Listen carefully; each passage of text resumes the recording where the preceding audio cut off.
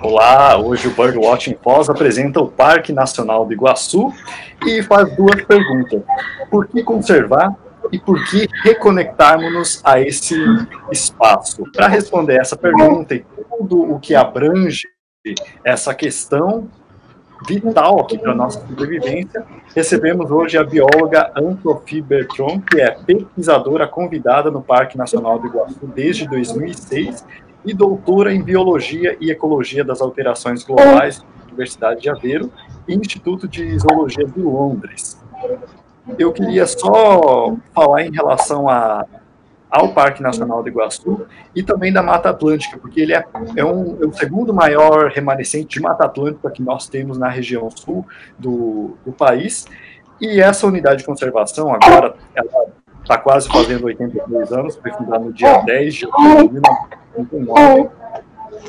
E desde a sua criação, nós vemos essa floresta, esse espaço que deveria ser conservado, tendo a sua área diminuída. Então, cada dia mais nós estamos, agora recentemente também vimos os impactos disso aqui na, na nossa região, por conta da, da seca e outras outras alterações do, do, do clima que nós sofremos. Então, se isso se estender por mais tempo, nós vamos acabar sofrendo essas consequências.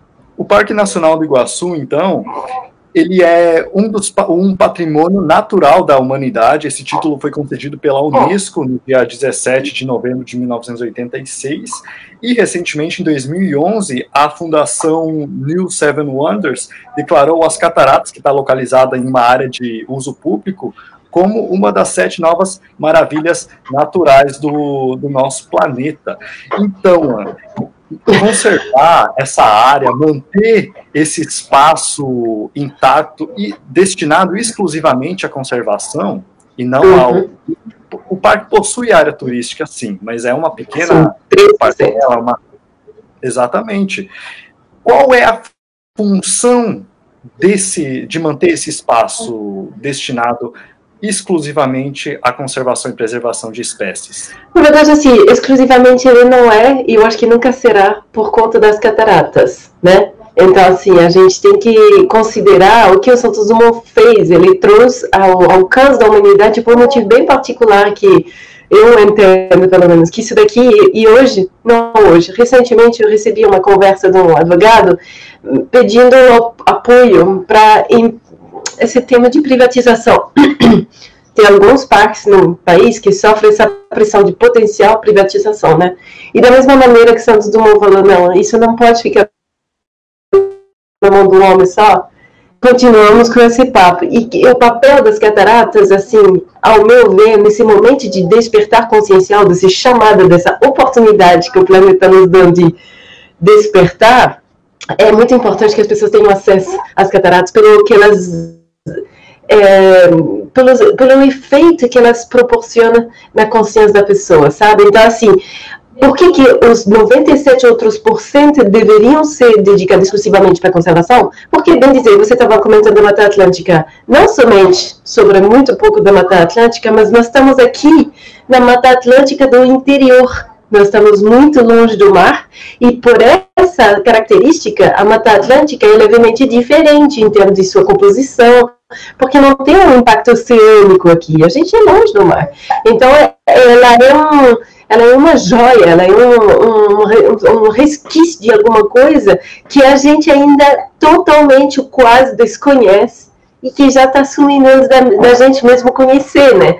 Então é, é, muito importante que a gente se dê conta disso daqui. E por mais que quando a gente conversa, nossa, 185 mil hectares, nossa, como parece muito grande, mas ao mesmo tempo é, é só isso que sobra. Quando você olha o mapa do estado do Paraná, nos últimos, vamos dizer, 60, 80 anos, simplesmente sumiu toda a cobertura vegetal, né? O que, que subiu, sobrou? Sobrou Marumbi, lá perto de Curitiba, porque é íngreme e não dá para explorar, e sobrou, a, a de muita luta, o Parque Nacional do Iguaçu, com essas características de, né, de pressões. Então, a gente tem muitos tipos de pressão em volta. E aí, o que, que acontece? Por mais que pareça uma parcela grande, na escala do planeta é ridiculamente pequeno, mas igual para nós é um tesouro que ainda nós temos que preservar com unhas e tudo, tá? Garra, porque ele é muito precioso.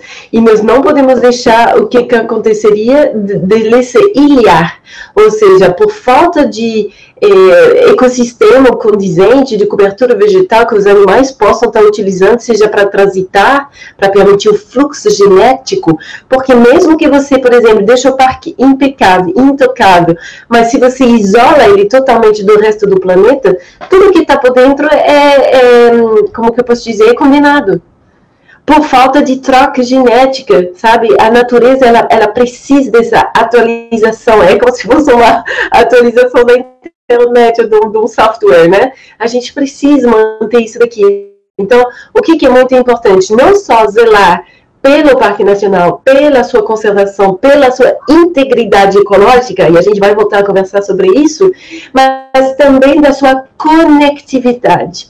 Ou seja, a fragmentação do habitat é tão prejudicial quanto a própria destruição dele, tá certo? Então, assim, por que, que ele é muito importante? Porque, como você falou, é um dos cinco hotspots de biodiversidade no mundo.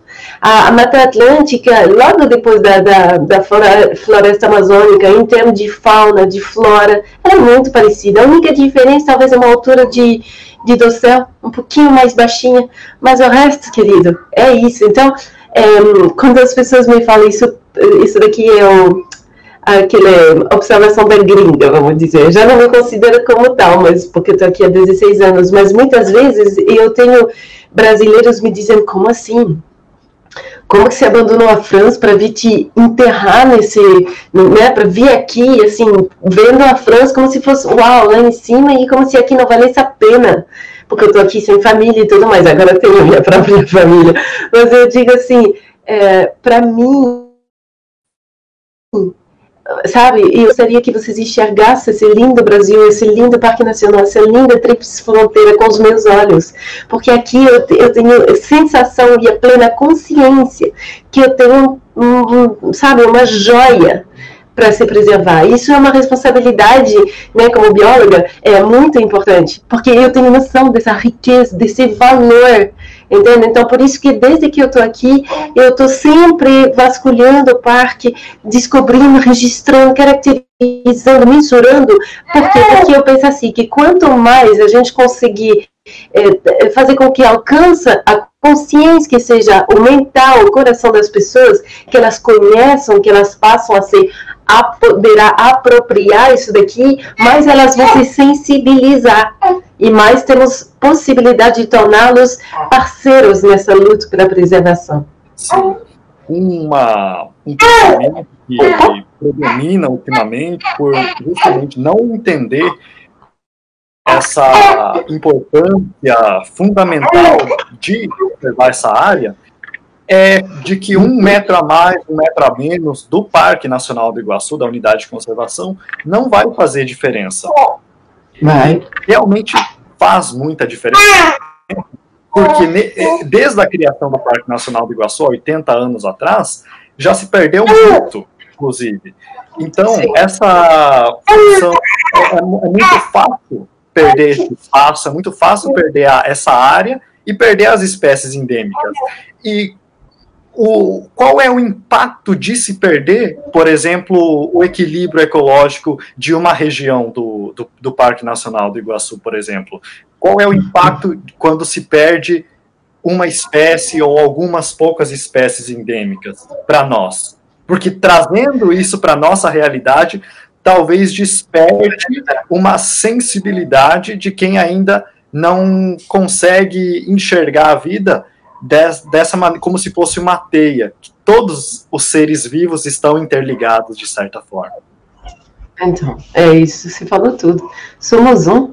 Isso daqui não é só uma bela frase para os yogi e os, os pais da vida, né? Tipo, a gente realmente tem que entender o efeito borboleta é um perfeito exemplo disso daqui. O que que acontece? Nós sempre falamos de assemblagem, ou seja, quando você por exemplo, eu estudo os mamíferos lá dentro do parque, né? E eu comecei com as onças. E o que, que acontece? Por que, que a gente dá tanta é, ênfase nas onças, né? porque além de ser extremamente carismática, que isso daqui é uma, uma jogada que a gente pode utilizar para alcançar o universo mental das pessoas, porque elas são sensibilizadas pela ah, a onça carismática, né? Mas além disso, ela é carnívora, topo de cadeia, ela é um predador de topo de cadeia. Isso e além disso, ela é uma espécie chave. Nossa, é muito termo técnico, né? Mas o que que acontece? Por ela estar tá uma espécie chave, quer dizer que o número de indivíduo não é proporcional ao, ao papel, a importância do papel que ela tem sobre o equilíbrio do ecossistema. As espécies-chave são chave, né? elas são chave, então elas são muito importantes para manter o equilíbrio do, da assemblagem animal por inteiro, ou seja, toda a comunidade depende da presença de onça no Parque Nacional, o equilíbrio. E por que que, por exemplo, mesmo que seja às vezes, ah, mas era uma lagartinha, era uma formiguinha de nada, o que que isso daqui vai impactar? Entendendo que tudo é interconectado. Às vezes, assim, a gente pensa, ah, esse daqui era um ratinho, era formiguinha. Sim, mas era talvez presa da presa da presa do que nós estávamos de óleo, entende? E pelo desequilíbrio lá embaixo acabou acarretando uma série de consequências em cascata que vai impactando o equilíbrio todo. E por que que é importante? Porque como que o ser humano está se dando conta que nós somos todos conectados à natureza e que o momento pede para super reconexão com a natureza. Porque a maneira que o planeta teve de nos demonstrar que as nossas ações têm consequência é, é através do clima. Por quê? Porque a gente está fazendo isso numa escala tão grande, né, de mil e uma maneira dif diferente, é claro, mas está impactando tudo. Ou seja, você represa um rio, você transmuta totalmente o clima do local. Não tinha vento, agora tem vento, sabe? Não tinha seca, agora tem seca, é, né? Aí aqui né, em cada lugar, a mudança climática vai tomar uma cara diferente. Aqui a gente já está vendo, você comentou, secas muito forte, enchentes muito forte, né, variação de temperatura, agora tempestade com muito vento, detonando tudo, isso daqui é novidade.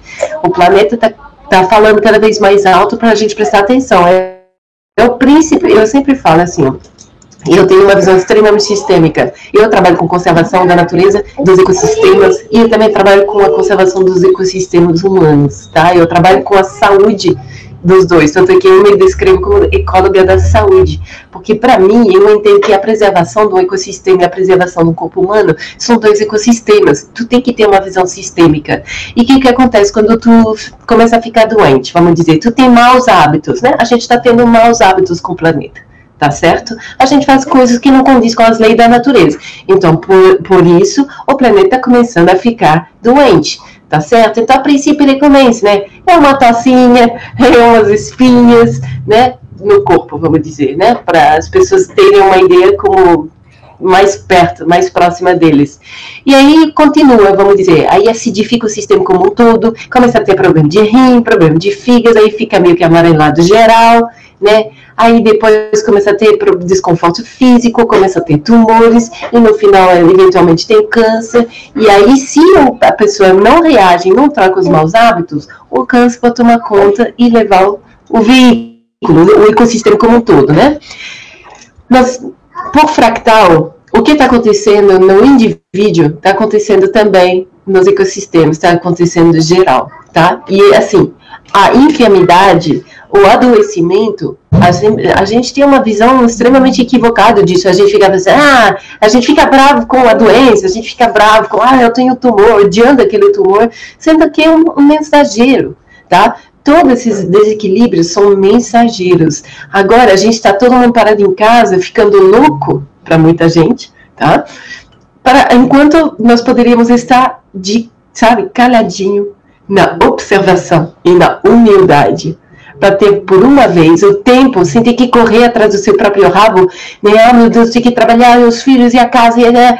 e o fim de semana, festa e tal. Não, agora você está parado em casa sem nada para fazer, só está tá encarando seus monstrinhos. E a doença é isso, é encarar seus monstrinhos. O que, que eu estou fazendo errado que o meu corpo está me, tá me avisando?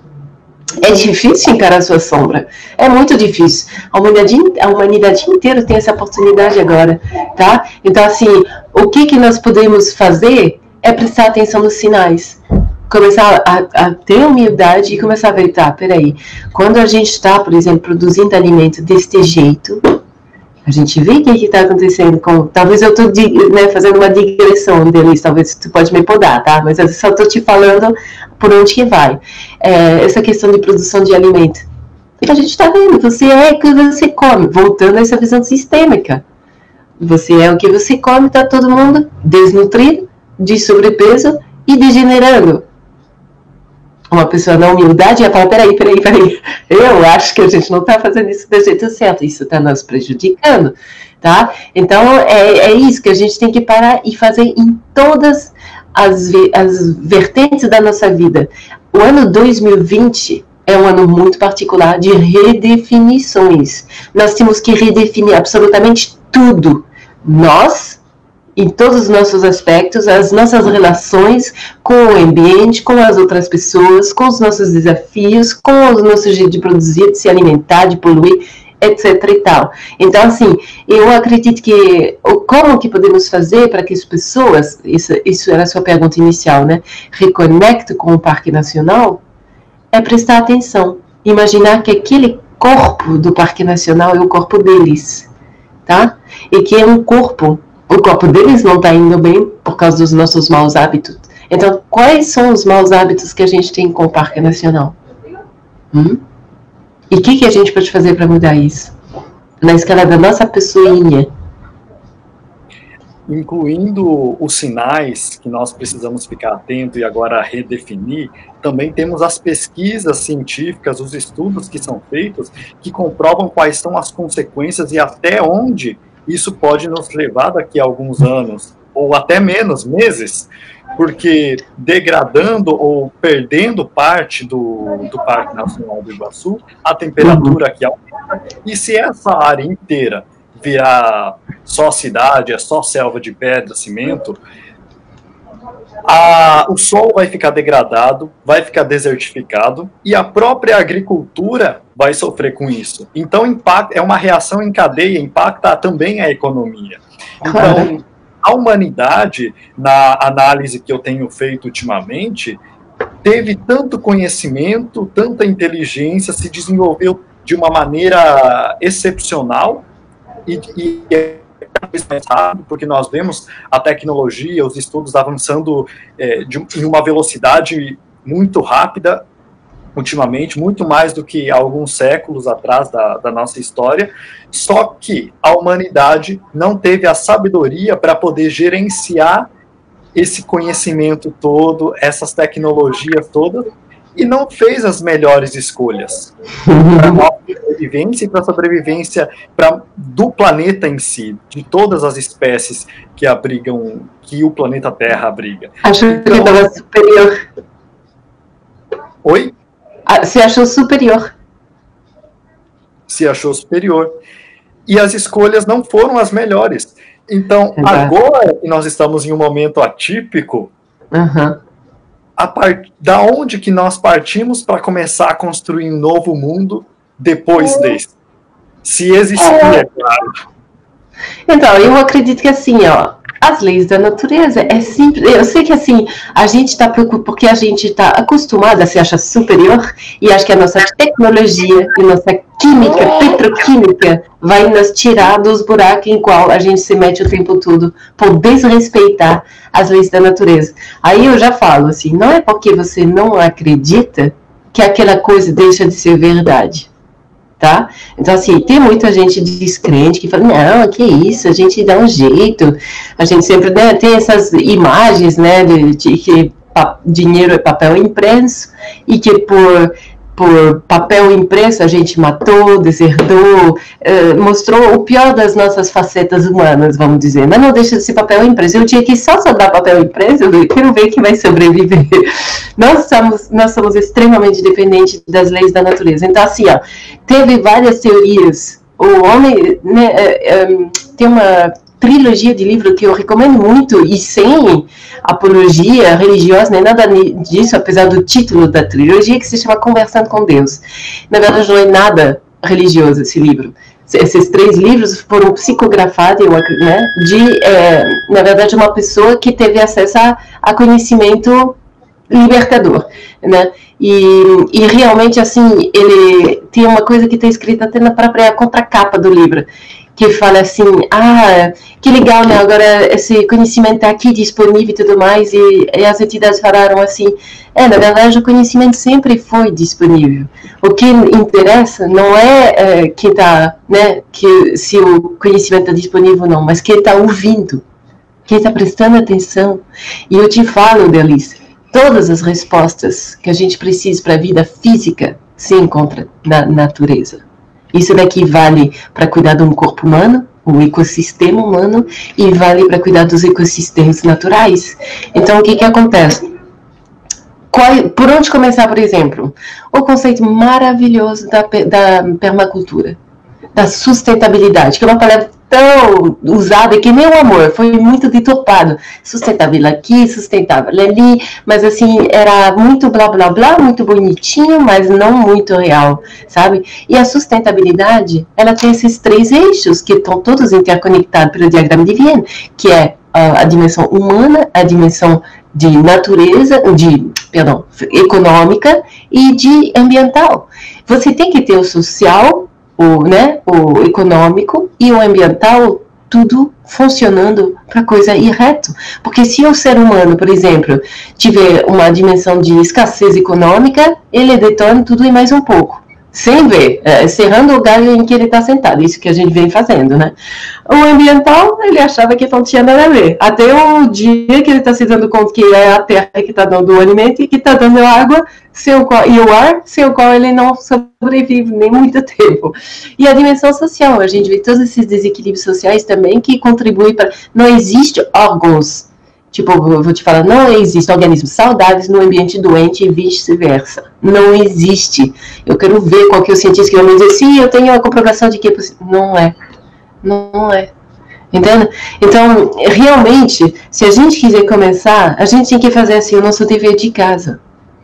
Ok, eu sou uma cidadã de, da megalopole de São Paulo, 25 milhões de pessoas, o Parque Nacional está lá, para mim é a última das minhas preocupações, vamos dizer, né?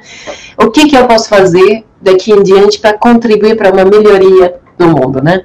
Então, olha como que você está tá vivendo. Aí eu sempre, eu tô, tu, tu me conhece, né? Eu sempre dou live, palestra, assim, sobre uh, um jeito de viver sustentável e natural. E eu sempre mostro para as pessoas que não é complicado, que não é caro e que não é fora do alcance das pessoas comuns, vamos dizer, né? E então eu sempre falo, que mesmo que tu mora numa megalopole, num apartamentozinho, num, numa, como você falou, numa mata de concreto, tu pode fazer uns, umas ações que vão contribuir para melhorar. Os, os indígenas norte-americanos, eles, eles têm uma relação com a natureza maravilhosa. Eles sempre falam assim, ó, se você deixa de utilizar papel para preservar as matas atlânticas, a mata amazônica, mesmo que você mora lá em Nova York, você torna elas sagradas. Então, assim, ó, eu sempre falo, é, eu estou pouco me lixando do, do, que as pessoas querem mostrar. É, o que me importa é ações, porque as ações elas retratam os pensamentos e elas retratam as tomadas de consciência e elas retratam o padrão vibracional, energético. De novo, essa visão sistêmica. Por quê? Porque a energia não mente. Você consegue mentir para você? Não consegue mesmo olhando, principalmente olhando nos seus olhos. Eu utilizei essa técnica para resgatar o amor próprio das pessoas para consigo mesmo. Mas se, por exemplo, você mente para mim, a pessoa pode acreditar que ela está enganando alguém. Só que uma pessoa que tem uma sensibilidade, que está reconectando, que está com o terceiro tinino, ela sente na hora. A, a, sabe, fora de alinhamento, e tu sabe que a pessoa está mentindo, não tem nada pior do que, né? Então, assim, energia não mente o poder da sua intenção. Não subestima o valor de cada ação que você está fazendo. Então, você trocou seus cosméticos convencionais, cheios de, de, de poluentes, que está poluindo o seu organismo, que está poluindo os nossos rios, responsável pela qualidade da nossa água, você trocou eles por produtos naturais que você faz em casa, que você presenteia. Essa pandemia te trancou dentro de casa, você criou uma microempresa para sair produzindo esses cosméticos naturais, para dar uma segunda vida para você sustentável, né, da, da, dimensão financeira do seu bem-estar, e também proporcionando uma janela de despertar para as outras pessoas, você está fazendo um, um serviço grandioso. Eu estou aqui muito agradecido pela sua decisão, você entende? E, na escala e no lugar de qualquer um de nós tem ações que podem ser redefinidas para que elas possam estar em alinhamento com as leis da natureza e para que possamos progredir rumo ao mundo novo. É isso que é o recado mais importante. Isso se aplica ao Parque Nacional, por todas as, as dádivas que ele nos dá, que a gente já vai ver, e, e para todos os outros cantos desse lindo Brasil e desse lindo planeta. Exatamente. Exatamente isso. E agora nós voltamos àquela parte em que o, a natureza em si estamos usando aqui o Parque Nacional como exemplo, mas a natureza em si, ela, tá, ela possui é, elementos e possui seres vivos que todos estão interligados e todos têm o seu papel a cumprir ali dentro. Então, Sim. se nós perdemos, é, se, é, se nós continuarmos nesse ritmo desenfreado de desenvolvimento não sustentável, nós vamos sair perdendo, assim como o planeta inteiro vai, vai perder com isso. Então não, não é só a natureza que sofre, nós mesmos vamos, a economia vai, vai ser impactada por isso, a, a dimensão política também, social, tudo Exato. acaba sendo impactado por conta desses. E para um problema, nós temos que olhar as causas e existem múltiplas soluções possíveis a maneira como nós estamos vivendo agora não é a única maneira possível de. Graças a Deus que não. E você está apresentando uma alternativa que as pessoas podem olhar e considerar adotar. E é claro, nem todo mundo consegue fazer tudo conforme conforme deve ser feito. Mas, Mas a intenção que vale é a intenção que vale, exatamente. Ou você escolhe alguns pontos em que você consegue, que você, nesse momento, dá conta de fazer. Um passinho por vez, tudo bem. Não tem problema, sabe? Da mesma forma como nós aqui estamos falando de respeitar os ciclos da natureza, o seu funcionamento, nós temos que entender o nosso próprio também, qual é o nosso ritmo de mudança. Começa querendo. Começa Exatamente. E eu vou te falar que eu fiquei admirada, porque assim, eu não sei porquê, mas as pessoas sentem a necessidade de vir comentar comigo dos seus novos hábitos, das suas conquistas. Ou quando elas começam a ter dor dos animais, ou como elas, ah, agora eu tô fazendo meu sabão para limpar minha roupa, porque eu comunico essas receitas, eu passo os meus conhecimentos sempre que eu posso, né? E, e, e o que eu pude ver é que tem muita gente que, mesmo as pessoas que tu menos espera, que estão é, assim, despertando de uma maneira linda de se ver.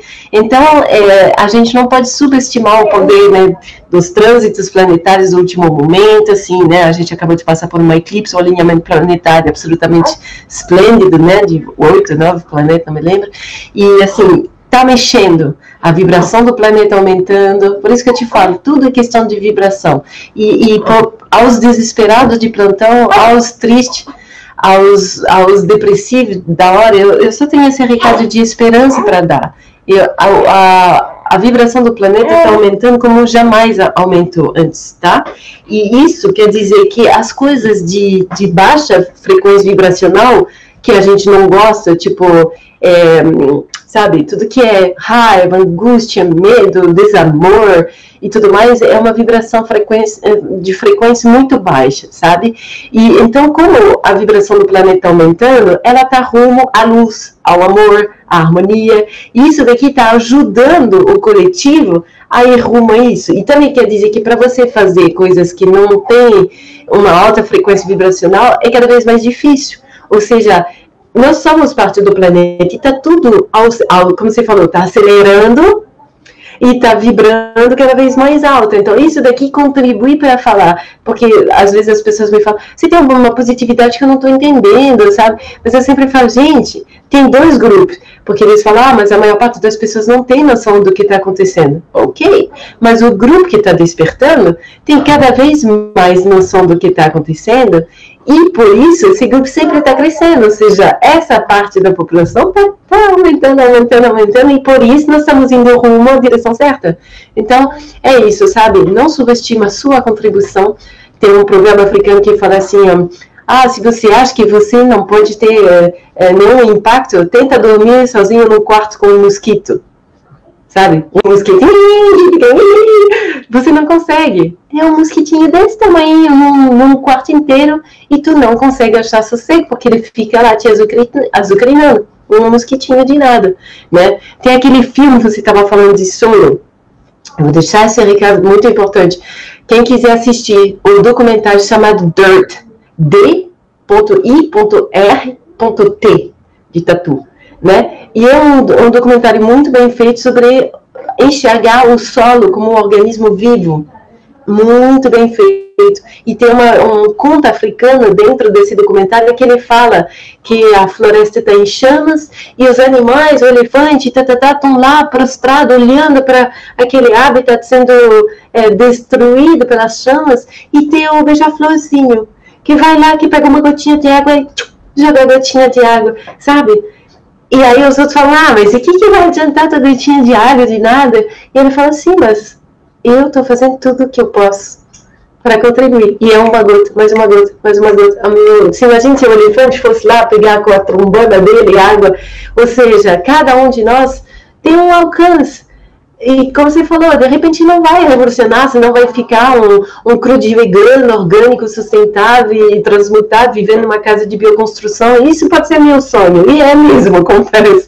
E é um sonho que eu vou manifestar e vou tentar fazer com que as pessoas venham visitar para inspirá-las, para mostrar que é possível. A gente vive em 2020 com qualidade de vida, ninguém está pedindo para ninguém voltar para a vida das grutas mas que é possível se viver de acordo com as leis da natureza, e isso. Hoje, por exemplo, você só vai fazer um suco verde. Ok, mas talvez que daqui a um ano você já vai estar, sei lá, eu, é, vive, se alimentando apenas de plantas, tendo uma hortinha, fazendo seu sabonete para lavar seus filhos, ao invés de comprar da Dove. Você entende? Por aí vai.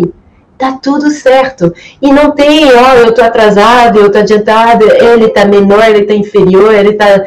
Não, não é uma competição. É, cada um de nós tem uma trilha diferente e tá tudo certo. Tá tudo de acordo com os planos divinos da fonte, chama isso como tu, tu quiser. Porque, que seja dito, eu não estou aqui pregando igreja nenhuma, partido político nenhum, religião, crença nenhuma. Eu só estou falando, quando as pessoas me perguntam, né, eu sempre falo, ah, a minha fé é fé na vida, fé na natureza, porque eu entendo que nós somos ela. E como eu te falo, eu resgato a saúde de pessoas através da alimentação e de plantas medicinais, apenas. As pessoas desiludirem com problemas de saúde muito sérios, diabetes, câncer e tudo mais, depois de gastar fortunas, de detonar o corpo inteiro com alopatia, vem para mim e a gente reverte esse quadro de degeneração com o poder da natureza. Então, é isso que eu quero dizer, sabe? Não duvido da, da inteligência do seu corpo, e se o nosso corpo é um ecossistema extremamente inteligente, porque ele é feito na imagem do Criador, imagina o resto do planeta, então. É tudo assim. Olha o que está acontecendo. A pandemia trancou todo mundo dentro de casa, de repente os animais estão ressurgindo, a água lá da Veneza, né, ficou claríssima, os bichos aparecendo por todo lado, ou seja, quando tu começa a parar, não é necessariamente coisa que tu tem que fazer, às vezes coisas que tu tem que deixar de fazer para a coisa melhorar tá? E é isso, uma vez que tu começa a trabalhar junto com o teu corpo, ele começa assim a se recuperar de uma maneira que tu fica, meu Deus, que sublime essa criação. E os ecossistemas naturais é a mesmíssima coisa, que sublime essa criação, sabe? Então a gente eu, tem que eu só quero fazer um parêntese na, na sua fala, já que você está falando sobre os animais que estão aparecendo em relação à purificação da, das águas em muitas regiões por conta dessa parada que o globo deu, a mesma coisa nós podemos falar sobre os vírus ou sobre o coronavírus, porque ele está lá na natureza cumprindo o papel dele e da mesma forma como cada vez mais que se perde habitats naturais, nós vemos as onças indo para cidades, os animais saindo da floresta e ocupando os espaços onde o homem constrói, da mesma Sim. forma, o vírus ele perde o seu espaço, a sua função na natureza e começa a ir para a sociedade humana. Então, da mesma na forma, ele começa... Na verdade, eu sempre falo assim, ó, as pessoas assim começaram ultimamente a, né, ficar detox, querendo fazer um detox e tudo mais, né? E aí eu sempre falo, a primeira coisa que acontece é, quando tu quer fazer um detox, e tu tem que te desparasitar, que nós somos extremamente parasitados. Como eu te falei, de modo geral, tá todo mundo degenerando. Então, assim, o que rege o equilíbrio do nosso corpo, as funções são extremamente prejudicadas, né? E a gente vive com estresse, com medo, com pressão, com muita acidez. Isso, a primeira coisa que faz, causa uma baixada de guarda, ou seja, a nossa imunidade, a gente fica imunodeprimida. Então, assim, ó, eu sempre falo, não adianta você ficar bravo com suas, seus parasitas. Você convidou eles para jantar no seu organismo, tá certo? Então, assim, ó, não adianta a gente ficar bravo com o coroninha. A gente tem que entender que ele veio, como eu falei para vocês, doença é oportunidade de evoluir, são mensagem. Não adianta a gente ficar com medo que vai pegar, que vai pegar. Tem muito vírus e muito bactéria. Eu sempre falo, nós somos mais vírus e bactérias do que células. O nosso conglomerado, aqui, esse ecossistema corporal maravilhoso, é mais vírus e bactérias do que células. E cânceres, a gente tem centenas todos os dias. O que, que a gente tem que fazer? É cuidar do terreno biológico. Quem não conhecer esse conceito, eu convido para conhecer o terreno biológico. Eu fiz um vídeo bem curtinho no YouTube no meu canal. Depois, por favor, Denise, coloca o, o contato ali, para que eles entendam.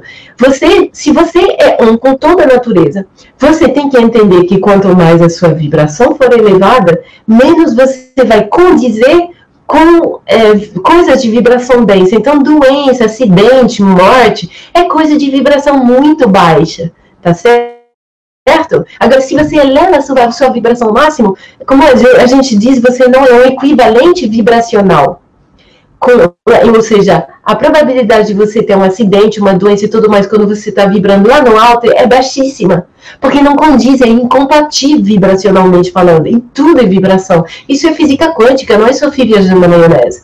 Entende? Então, o que, que a gente tem de fazer nesse momento? Agora, por isso que está despertando esse, ah, tá todo mundo querendo cozinhar, comendo melhor, plantando hortinha, sabe? Zelando pelo orgânico, por quê? Porque agora, melhor tarde do que nunca, a gente está zelando pela integridade biológica. Ao invés de colocar álcool na mão e, e máscara acidificante na cara, a gente tem que entender que tem que levantar a imunidade da gente. Isso não é colocando gel na mão, não é de fora que vai isso resolver. Você tem que começar a cuidar do lado de dentro.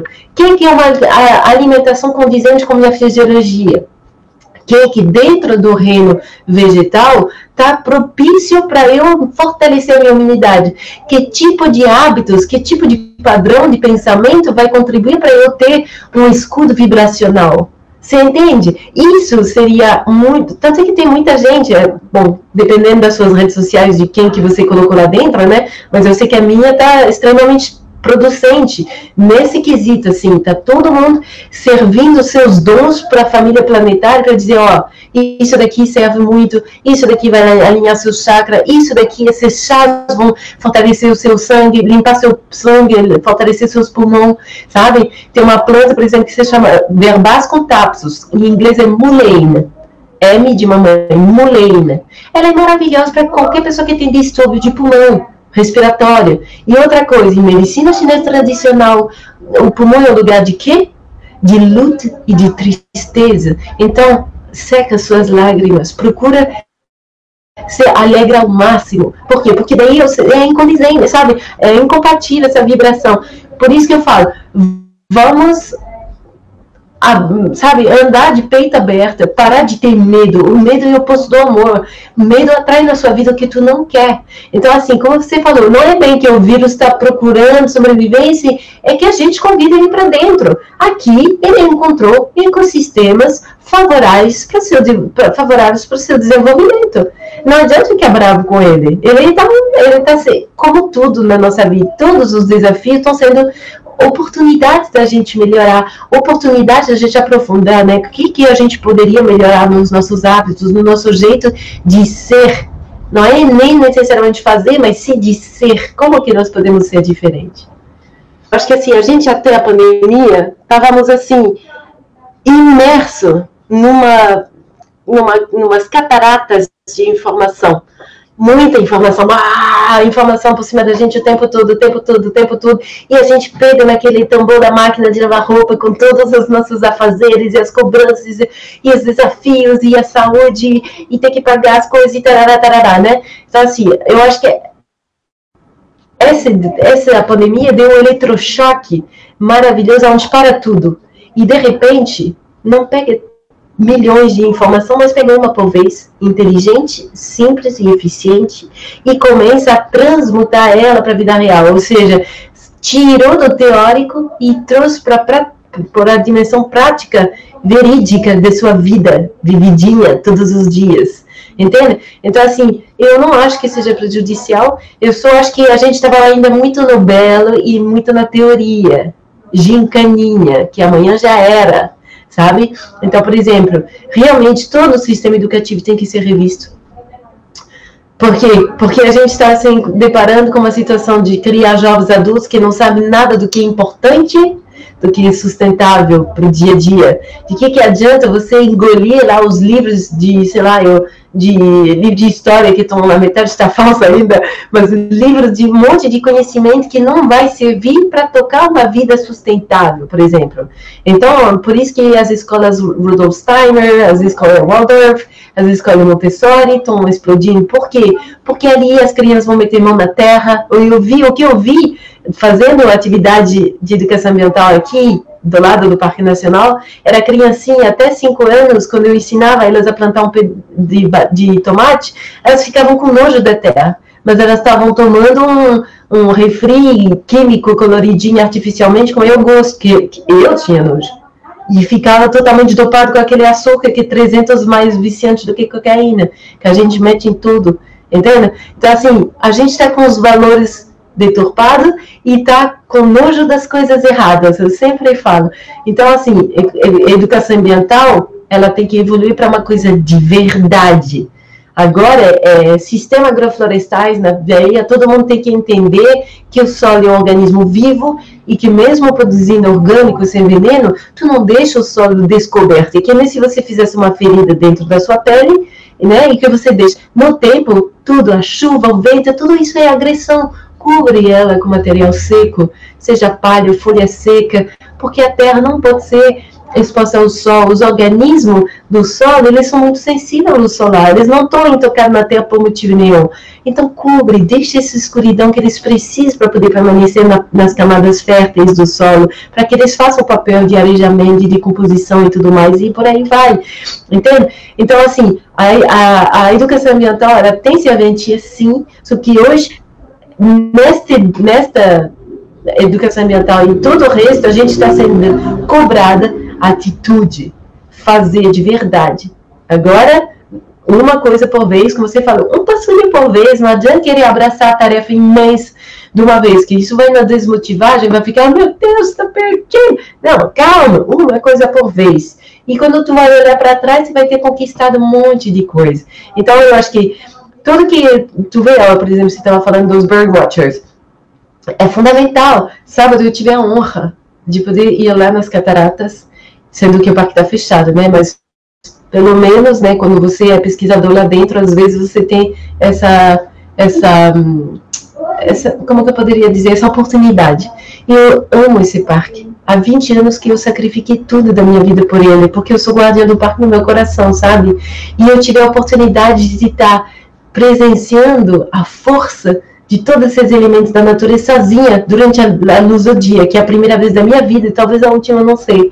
E eu tive a oportunidade de ver jacutinga, de ver umas periquitas, de ver aquele tucano de bico pequeno lá, preto, agora me escapou o nome, mas sabe o que, que eu vi? Eu senti assim, a presença, a força da natureza, assim.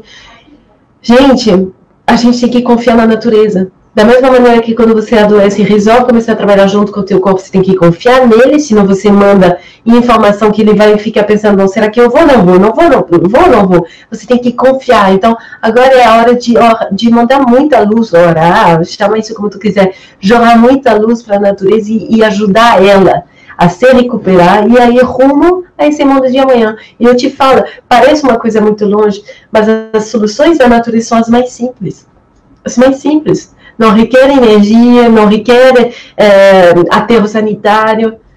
Tudo é integrado. Entende? Então, assim, eu estou com esse projeto maravilhoso de fazer como eu te falei, esse exemplo, através do exemplarismo, tu ensina muito mais do que através do de dar lição, né? Tá todo mundo saco cheio. Quem, quem que é superior a quem para ficar dando lição? Eu espero que o meu recado hoje não, te, não seja assim, ah, o que, que ela está se achando essa mulher? Porque o meu objetivo é só semear sementes, mostrar, dar ideia, inspirar e fazer com que as pessoas sintam que elas são parte da solução da mesma maneira que fomos parte do problema e está tudo certo.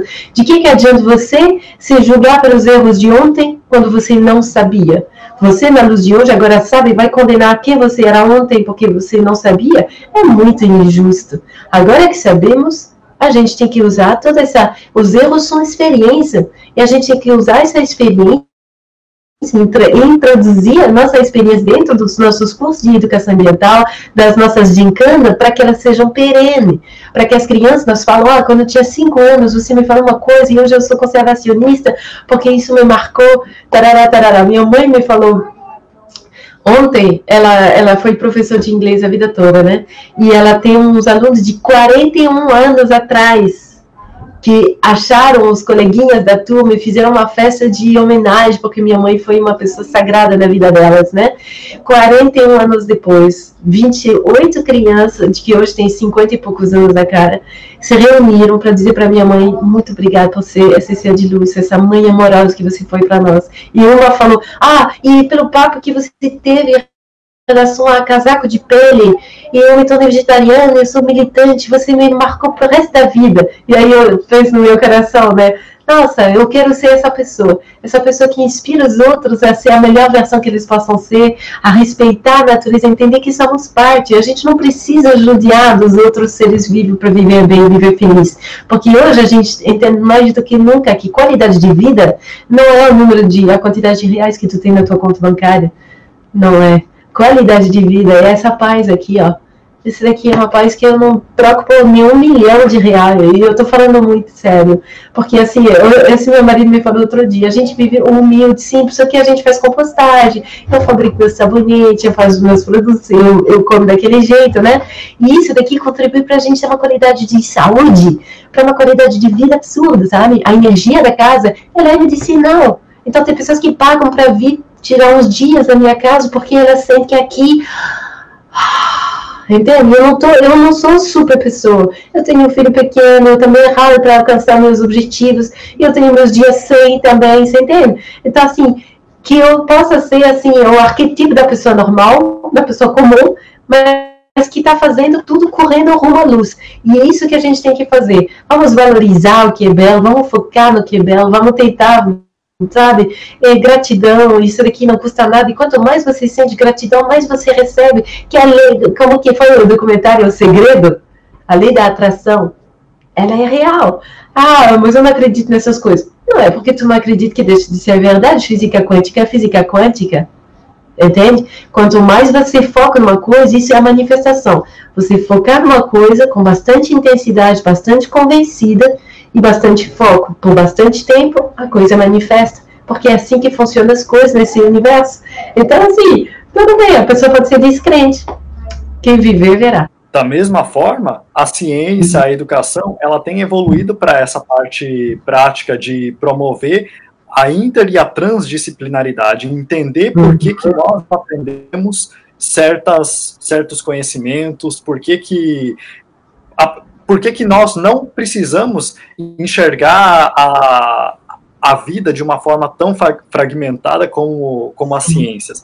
Até certo ponto, foi importante que tudo isso tenha sido dividido em, em áreas do conhecimento, em campos do saber, para que nós possamos compreender melhor agora é o momento de começar a integrar, integrar tudo de uma forma interligada novamente. E cada, cada um tem a sua importância, mas sozinha, um, uma, uma ciência, uma, uma área, não tem sentido, ela precisa estar conectada com o planeta. E a, a natureza é a maior fonte de sabedoria, tanto que hoje a biomimética a biônica se inspira nas leis da natureza, no seu funcionamento, para poder promover soluções para a sociedade humana, que é uma sociedade criada, que nós criamos. A partir Sim. de. E, e olha, tudo está acontecendo assim. A gente está cruzando os caminhos, vendo, por exemplo, para você ser um ecólogo, um, um biólogo, você tem que entender muito de matemática, de física, de química, entende? Você tem que ser um bom orador, você tem que saber conseguir recursos, você tem que saber administrar uma ONG, você tem que saber muita coisa. E aí, outro, outra dimensão. A gente vê que as, a medicina convencional está tá falha. Por quê? Porque a gente achou que era motor de avião e não é. A gente não é objeto mecanístico, a gente é um ecossistema com milhões de interação.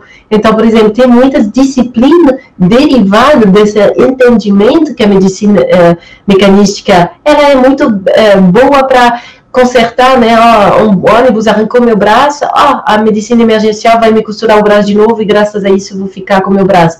Mas para tratar de câncer, nós estamos falha, entende? Então agora tá, tá, tá pintando a medicina de estilo de vida. E aqui na Unila tá medicina de estilo de vida. O próprio doutor Alberto, maravilhoso, ele está mostrando que a qualidade da tua vida, ela é muito além do remedinho, ainda sabe? A gente antigamente estava doente, corria na farmácia pegava o remedinho e tapava o sol com a peneira, né? Ah, apagava o sintoma. Não, se calou o mensageiro o, o teu corpo mandou para te avisar que tu estava fazendo uma coisa desse, não, de modo correto. Medicina culinária, olha o grau. Medicina culinária, ou seja, né, o Dr. Alberto Perigones Gonçalves, que é maravilhoso aqui no Brasil, ele fez o quê? Lugar de médico na cozinha. O primeiro livro dele, best-seller total. Ele era do SUS, ainda é, ainda faz plantão, e é quando a pessoa vem pedir antibiótico, ele ensina a fazer o suco verde. Isso que é revolução da mente. Isso que é revolução de consciência, sabe? Você então, você Hã? mencionou o Dr. Roberto da, da Unil, professor de medicina Sim. da Unil. Eu tive a Sim. oportunidade de fazer um curso com ele sobre estilo de vida, salutogênese, e ele falou muito sobre como a medicina, como os médicos são formados para tratar a doença, mas não para promover a saúde, Isso, a qualidade. Exatamente. Então, por que não prevenir esse monte de doenças que nós podemos pegar ao longo da vida? Então, a mudança começa hoje. E a qualidade de vida em si, eu quero destacar, falando sobre inter e transdisciplinaridade, ela depende de vários fatores. A nossa felicidade também depende de vários fatores. Então, não é só mudando um hábito ou uma coisa só que vai nos fazer plenos e, e felizes nessa, nessa vida, nessa existência. Mas contribuir. Contribuir com pequenas conquistas e sensação de realização pessoal. Isso é muito importante para astral e para estímulo de si. Que o problema deles, o que eu notei, porque eu trabalho muito com mulheres, né? E as mulheres têm um papel fundamental, que elas são terra. Elas, mais do que os homens, são da terra. E elas têm milhares de anos de condicionamento, de sofrimento, de desprezo, de humilhação, de, enfim, muita coisa ruim, tá? E elas têm, a resultante disso é um amor próprio lá, na, lá embaixo, lá embaixo, se achando na dica de nada, sabe? E uma pessoa que ela não tem um estímulo pessoal, tem dificuldade, né? A gente sempre fala, tu só pode dar o que tu tem para você, o que tu recebeu, né? Então, em inglês a gente fala assim, if your cup is full, né? Se você caracterizar o amor que você tem por você e que você preenchesse o seu copo, dizer que aquele aquele copo cheio é seu amor, você pode derramar nos outros. Agora, se teu copo está vazio, como que tu pode derramar? E esse amor precisa disso, de amar, de amor, né? Então, assim, todo esse trabalho de amor próprio, de se cuidar, né? E, e, a mudança de lá fora, ela vai ocorrer aqui dentro. Então, a pessoa pode pensar, ah, o que, que eu me sentir melhor comigo vai, vai interferir com a matança dos focos lá na Antártica? Meu, entende que sim, entende que sim, porque tudo é vibração, é um efeito borboleta. A gente tem que sacar essas coisas. E, e, como você falou, não adianta agora só fazer como o doutor Alberto, Roberto falou, não é só parar de prejudicar, agora é promover saúde, esse é pró-salutogênico, né? A gente tem que criar coisas que vão promover saúde. E, e é possível, e é muito mais simples que a gente imagina muito mais simples. E eu estou muito feliz, sabe, proporcionando cursos online, vídeos educativos assim, gratuitos, assim, para as pessoas entenderem que é muito mais ao alcance do que elas imaginam, tá? Então, esse é o recadinho de esperança. Talvez a gente digrediu um pouquinho do assunto, mas é entendendo que tudo é uma coisa só. A saúde do Parque Nacional, se você fizer tudo isso daqui, agradece muitíssimo. O seu estilo de vida fez tão bem para você, para a sua vida, para sua família, que agora você quer disseminar isso para as pessoas. E você vem fazendo isso porque você está experimentando, você é prova disso. Né? A sua vida testemunha aquilo que você vem falando e apresentando para as pessoas como algo que pode fazê-las mais felizes e mais plenas e mais realizadas em todas as áreas de, de é bem isso. É bem nós, isso, sabe? E nós nos sentimos muito gratos de ter você aqui hoje. Obrigada pela oportunidade. Tanto conhecimento, tanta sabedoria que você tem juntado ao longo desses anos todos. E por ter desse espaço, dessa, dessa região, dessa parte do planeta Terra, o seu lar agora, por ter trazido um novo olhar no próprio espaço. Porque, é claro, muitos ainda não conseguem vislumbrar a beleza que é o Parque Nacional do Iguaçu, a beleza a nossa, a nossa, a nossa região, a nossa, a nossa fauna, a nossa flora. Com certeza. Mas você, pessoa como você que está fazendo esse trabalho de divulgação, de tentar fornecer elementos para as consciências famintas, está fazendo um trabalho sensacional. Você é um trabalhador de luz aqui da região. Eu também sou muito grato pela oportunidade e eu acho que é isso, sabe? Vamos juntando os fatos, vamos trazendo elementos e sustento para que essas pessoas possam ser alimentadas desse tipo de informação e que possam mudar esse olhar, essa perspectiva, que tudo é uma questão de perspectiva, sabe? Vamos trazer mais luz, mais alegria, mais esperança nessas perspectivas das pessoas que, que compartilham desse espaço conosco e também lembrá-los que a gente está aqui, pessoas reais, né? Com os mesmos desafios e com as mesmas, talvez não as mesmas oportunidades, mas que a gente está junto para construir esse mundo de amanhã e que se elas precisarem, elas podem entrar em contato com a gente, que a gente está aqui à disposição para ajudar na medida do que a gente puder, né? compartilhando de mais informação, compartilhando de contatos, né? Que nós somos, você sabe que essa essa necessidade de conexão do ser humano é superior à nossa necessidade de até se alimentar e de beber e tudo mais. Que eles fizeram uma uma experiência infeliz com bebês na década de 50 nos Estados Unidos, bebês abandonados. E aí um grupo do bebê dos bebês recebia alimento, bebida e contato físico, afeto, e outro grupo apenas as necessidades fisiológicas estavam sendo satisfeitos, né? Só de alimento O grupo sem afeto, eles estavam morrendo. Então, por isso que essa pandemia está deixando muita gente louco, porque a gente sem conexão, a gente simplesmente é degrada, né? Então, graças a Deus, nós temos a, as redes sociais e a nossa comunicação pela internet. Vamos entender que nós estamos todos interligados, interconectados, e que se a gente precisar, a gente tem o celular e fala, e liga no WhatsApp, escuta a voz, se conecta e vai criando com a mente, sabe? E é isso, a gente sentir que nós estamos todos interconectados e precisando deles por favor, sempre me chame, é um prazer conversar contigo toda hora. E a gente está aqui à disposição para o que deve é, tá bom? Da mesma forma, nós queremos né, estender esse convite para outras ocasiões. Se você tiver um tema para nos recomendar, por favor, nos procure também. É, uhum. Isso que você falou no final é realmente muito essencial, é vital para nós. Cada um de nós é um ponto nessa teia da vida. É, nós aqui, os seres, o ser humano também é um ponto nessa teia, nessa imensa teia da vida. Cada um tem aqui o seu papel Sim. a cumprir na, tanto na sociedade humana como na, na natureza, enquanto parte da, da própria natureza. E Sim. é exatamente isso, Sofia. Nós temos que cada vez mais buscar o melhor. Ninguém aqui está pregando nenhum estilo vida específica ou se sentindo superior, se achando superior para falar alguma coisa, mas sim porque certas experiências de vida nos transformaram para melhor, mudaram a nossa vida, a nossa maneira de enxergar, e que por isso é importante, nós acreditamos que é importante que outras pessoas saibam também e elas mesmas testem. Não estamos aqui impondo nada, mas que cada um experimente e encontre o caminho que vá trazer mais essa plenitude para a vida dela.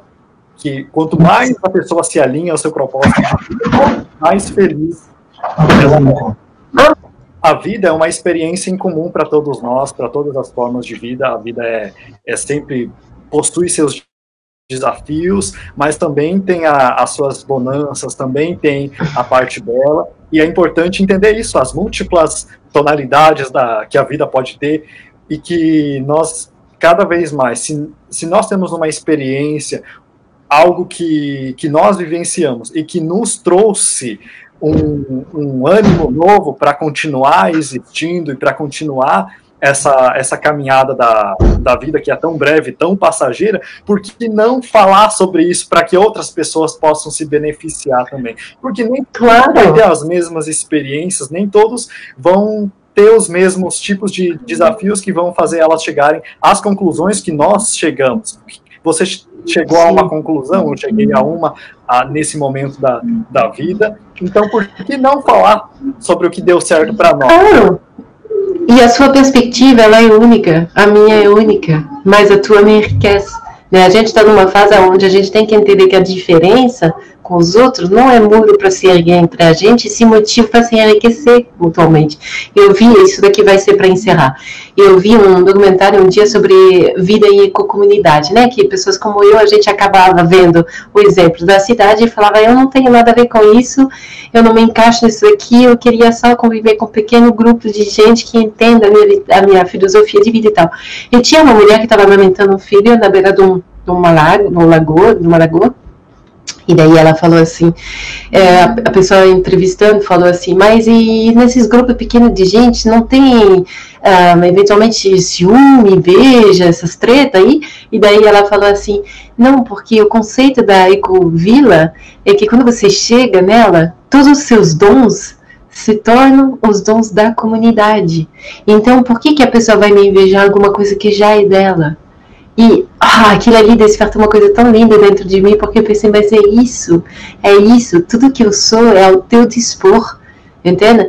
Por isso que, assim, eu acho que a gente que tem esse papel nessa vida de compartilhar luz, né, através de exemplos de vida, como você falou, seu estilo de vida e tudo mais, é, é uma coisa que alimenta muito, sabe? Então, as pessoas às vezes me falavam, não compartilhe essa receita, porque você sabe, no Brasil as pessoas são ligeiras ela faz uma rasteira e elas te roubam. E aí eu falo, mas pra que, que eu vou ter medo que a pessoa me rouba uma receita se eu posso criar 15 mil receitas por dia? Eu vivo criando. Eu quero que ela rouba a minha receita. Eu quero passear numa cidade e poder comer a minha comida porque alguém roubou uma receita minha. Eu quero. Entendeu? Então, é uma, é uma perspectiva diferente tudo que eu sou, eu tenho para oferecer. A gente tem que fora, fugir dessa ilusão da escassez, que eu tenho que esmagar os outros para eu não se sobrepor e sobreviver. A, não. A, a competição não é o único caminho para a é felicidade. É cooperação. Várias maneiras, assim como várias maneiras claro. de viver e pegar a vida.